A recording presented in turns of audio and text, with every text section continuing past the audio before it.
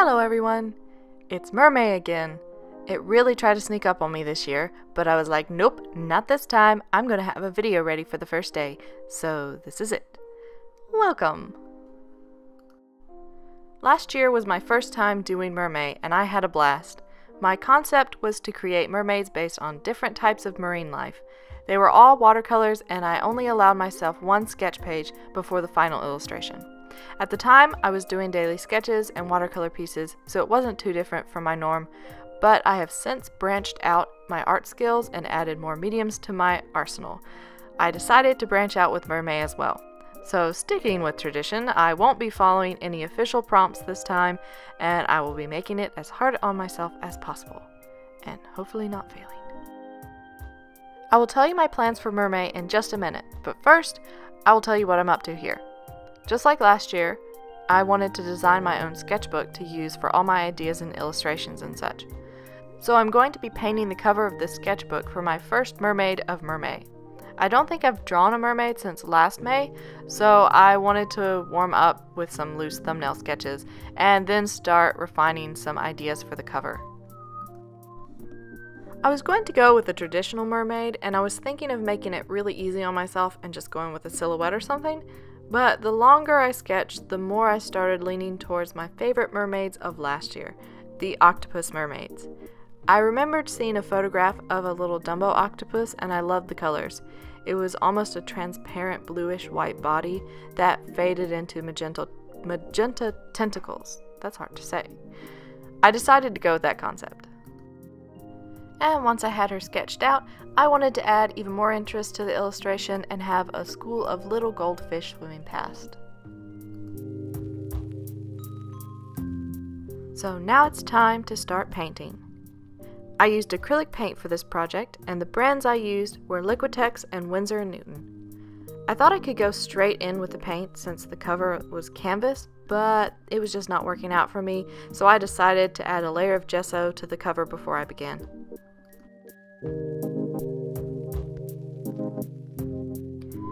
The next bit is pretty self explanatory, so I will take this opportunity to talk about my plans for this month's challenge. So, Mermay. It was originally meant to be a daily drawing challenge to encourage people to practice their skills and expand their knowledge. Now, I don't know if at the start it was primarily traditional art media like Inktober, but however this challenge started, it has quickly expanded over many different types of art. I've seen the Mermay Challenge done in everything from oil paints to digital art, so I figured that it was perfectly acceptable for me to actually make this part of the challenge for myself. I listed 31 different types of art media, and I will attempt to create a mermaid each day using a different method. So, day one, for example, is acrylic painting. Check! It's done. Now I just have 30 more different types of art media to get through. I will go ahead and tell you a few of the things that are here on my list. I have digital painting, gouache painting, resin casting, don't know what I'm going to do for that one yet, and sewing. Yep, this month is going to be interesting. Oh, and I forgot to mention that I'm also getting ready for Animazement at the end of this month, so I'm going to be busy, busy, busy. I'll probably try to get most of the hard ones out of the way first so I can focus on getting all of my Animazement merchandise done when it gets closer to crunch time. So back to what I'm doing here. I put down a white base layer for my mermaid and while it was still wet, I began blending the blue hues into the white to give it that translucent smoky appearance. It's difficult to work wet on wet technique with acrylic because it dries so fast. There are retardants that you can add to the, your paint in order to slow down the drying process, but I don't happen to have any, so I just worked really fast. I find that if you use one brush to lay down color and another slightly damp clean brush to feather out the color, then you can achieve a nice blended effect. The paint dried even faster than normal on this surface, so I didn't get the blends as smooth as I normally like to, but ultimately, I didn't mind so much.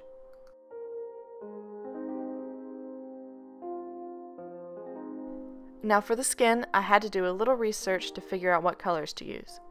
Normally, for most skin tones, there's a slight red undertone because our blood is red and our skin isn't 100% opaque. So my initial impulse is to put some red in the base color for the skin.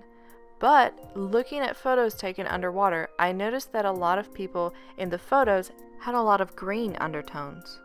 This is because the water acts as an extra filter to, for the light and it alters the color slightly.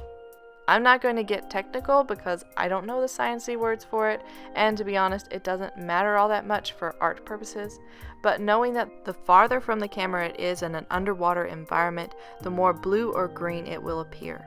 So I decided to limit the amount of red I use for the skin tone base and use green instead of purple for my shadows. I still threw in a bit of red here and there so she didn't look too alien, but I figured if this method failed, then I can always say, hey, she's a mermaid. She's not limited to the same skin tones we are.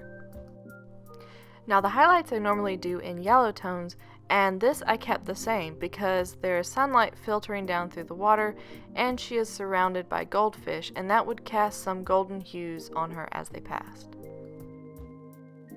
Now I think I've run out of things that I can say about this painting, so I will just let you sit back and listen to some music while you watch the rest of this. I will interject here and there if I think there's something else I can add, but if not, I will check in with you at the end of the video.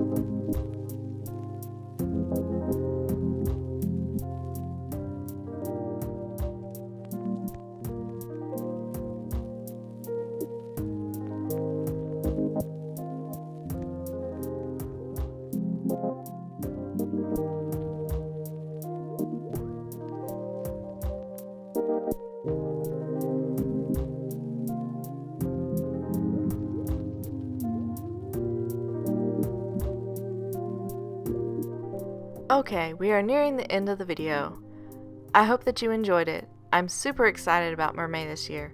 Are you going to be participating? If so, let me know in the comments. If you want to see daily uploads of the mermaids I create, follow me on Facebook or Instagram, links in the description below. I'm not sure which art medium I will tackle for next week's video, so be sure to stay tuned for that. Hope you have a great day. Bye.